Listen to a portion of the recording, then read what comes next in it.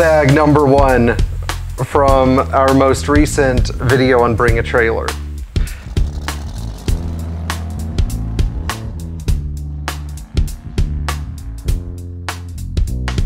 So I've got my phone here all beat up. It's got a bunch of cracks in it, and I'm responding. I'm going to respond to some of your questions and comments about our most recent video on Bring a Trailer that I just sort of in, informally filmed with my brother while we were driving around New York City. Uh, so Patrick says, uh, "Dude, let us know when you travel."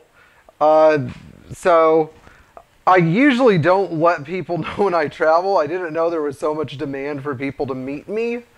Uh, but just so all of you know, my next trip will be to Oklahoma City on the 29th. And if you, we're, we're going to be doing a tech session there with the local Mercedes Benz Club. So if you contact the local section president, uh, then, and I'll, I'll post their information once this video goes up uh, you can actually attend the tech session, and that could be like an informal meet and greet if I have anyone in Oklahoma City that wants to meet me. Um, Carl and user Lily of the Valley Rising. I don't know what your name is yet, but I'm sure you have a beautiful name. um, anyway, both of them were, were hoping that I'd come to Maryland. Uh, that may be in the cards, so both of you both of you don't don't worry about it. Lily, I want to meet your two your your 1980 450 SL as well. I think it's great that you work on your car.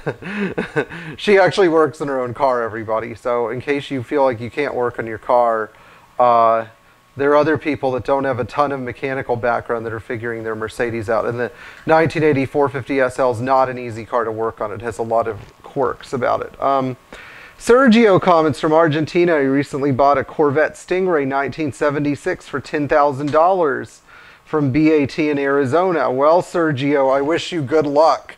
The 76 was one of the toughest Corvettes to live with. I hope it ends up being a good car because most Corvette guys don't like them. But if it's a nice car, then I guess you could take all the emissions equipment off. Um, let's see here. What were some of the other things that uh, people say, well, Mike says that he would never buy a car from Bring a Trailer. I, I, you know, I'm a little harsh in bringing a Trailer sometimes. My friend Dean Lumbach, I know Dean pretty well, and I know how hard he works to bring his cars to market he definitely doesn't sit around in his butt, spray them with some some Meguiar's quick detail and put them online. Like I know the guy's working really hard on on making them decent. So there are certain people that I would buy cars from and bring a trailer, but uh, not everybody. You know, not everybody goes in that category. But anyway, Mike, uh, let's see what Mike said. Mike. Uh, Mike saw this 350 SDL just skyrocket when it went on Bring a Trailer. So there's some really serious bidders watching Bring a Trailer, and there's some really serious people waiting to take advantage of them. Then Alexander left a really cool comment. He said, Pierre, what about tire sizes? Particularly the 220S, 230, 280, 280S and SE and the 300 SE. That is a lot of tire sizing. If you would like to know which tire size goes in your car, then, well, I could answer these questions for you.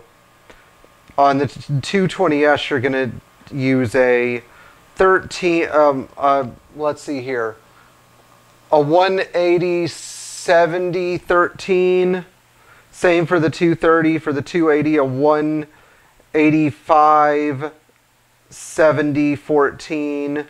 And for a 300 SE, you're going to use a like a 205, 70, or 65, 15. Doug asks, do I see an upside in the 560 SEC?